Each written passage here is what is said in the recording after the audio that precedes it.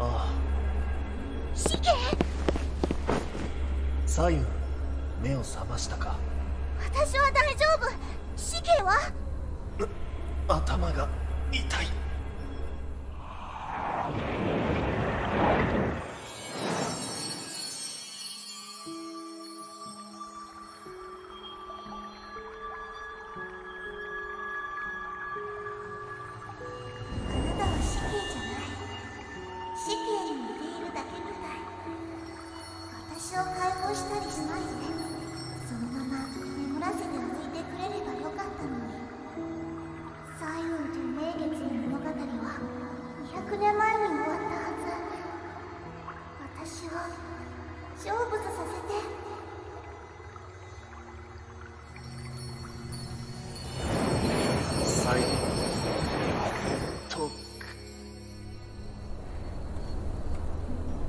隊長町の西側であやかしの気配を感知しました。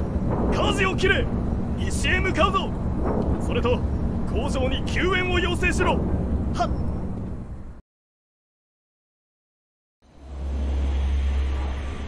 使命。ここは？名月死刑。エンザン君早く出てきて。天候士がこの近くであやかしの気配を感知したってお父様が。防衛軍の天候艦がこっちへ向かってる。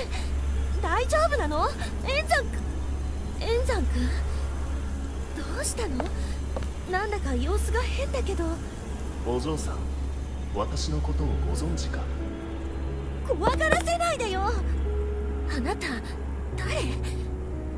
まさかあなたがあやかし？名月死刑。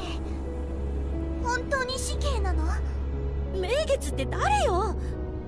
あなたは名月死刑。それとも円山使命破空間はどうしたのだ？死刑。あれから千年経って白雲館はもうないの？こここはもう全く新しい世界。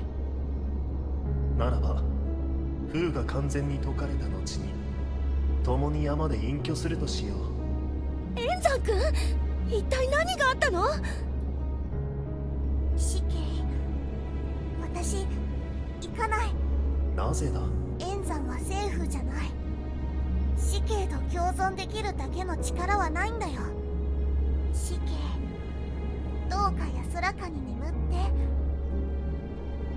私たちは存在しちゃいけない時に忘れ去られた人間なの。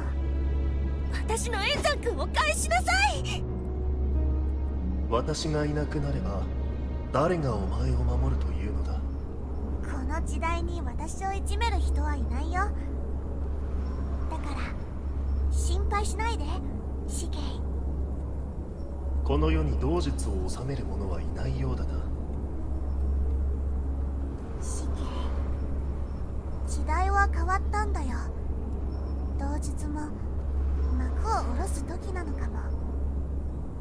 いくら時が経とうと変わらぬものもある同術が役に立たぬわけがない。あやかしめ即刻投降せよ。全員攻撃準備を。お姉さんお願い。力を貸して。どういうこと？明血死刑は怒ってる。彼は残されたわずかの魂の執念に過ぎない。自分を制御できないの。力を合わせて死刑に力を出し尽くさせよどうしてあなたの手伝いなんか。エンザン君を奪っておいて。私の。円山を助けたくないの。死刑の執念は完全に消し去れば円山の意識を保つことができる。